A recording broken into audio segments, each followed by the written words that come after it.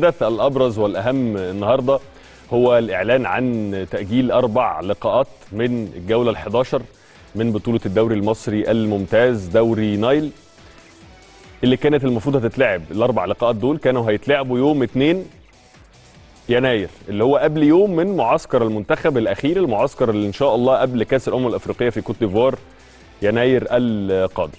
فبناء على طلب روي فيتوريا المدير الفني البرتغالي لمنتخبنا الوطني الأول طلب إن هو يتم تأجيل أربع لقاءات دول للأندية اللي عندها ارتباطات كتيرة الفترة اللي فاتت سواء في البطولات الإفريقية أو في السوبر اللي هم الأهلي والزمالك وبيراميدز ومودرن فيوتشر. فكان عندنا لقاء الأهلي هيقابل فاركو الزمالك هيقابل سيراميك كليوباترا عندك مودرن فيوتشر هيلاعب الجونة وبيراميدز هيلاعب سموحة. فالأربع لقاءات دول تم تأجيلهم بناء على طلب روي فيتوريا.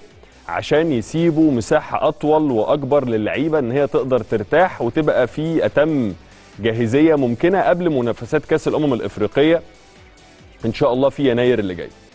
ده الخبر. ولكن اللي هينتج عن التأجيل ده إيه؟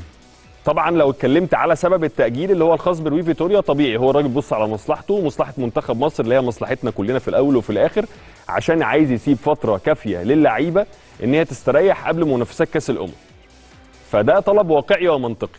لكن اللي مش واقعي ومش منطقي هو إن إحنا نفضل كل سنة في يعني عارف اللي نبات فيه بنصبح فيه. وهو إن إحنا كل سنة الدوري بيمتد إلى شهور وأسابيع وأيام بعيدة وما بنكملش الدوري في ميعاده. والحقيقة الواحد يعني مشفق على الوضع اللي فيه الدوري المصري. طيب الرابطة طب ما هي الرابطة عايز تنفذ عايزة تنفذ طلبات المدير الفني عشان مصلحة منتخب مصر. الحاج عامر حسين رئيس لجنة المسابقات عنده ارتباطات إفريقية ملخبطة عشان نكون امنا برضو. يعني إحنا بننتقد الراجل والراجل عنده سعة صدر لما بننتقده في بعض الأمور. ما عندوش مشكلة لكن برضو السنة دي في بطولات إفريقية جدت لخبطت الأجندة كلها. فالحل السحري للقصة دي كلها هو إن إحنا كنا نعمل موسم استثنائي تتوافق عليه الأندية بشكل مختلف عشان تبقى سنة وجع ساعة ولا كل ساعة. ما ما نفضلش عم عاملين كده زي الدم اللي عمال يكبر يكبر يكبر ومحدش عايز يجي ينظفه. يا جماعة موسم استثنائي ومفيش حاجة اسمها الأندية مش موافقة ومفيش حاجة اسمها الأندية رافضة ومفيش حاجة اسمها إن الأندية مش عايزة تتعاون. لا اتحاد الكورة والرابطة يفرضوا كلمتهم على كل الأندية.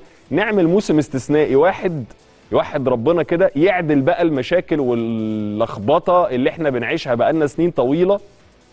ونبتدي بقى الموسم الجديد على نظافة وموسم يبتدي في ميعاد ويخلص في ميعاده زي أمة لا إله إلا الله في كل حتة في الدنيا زي الناس الطبيعية.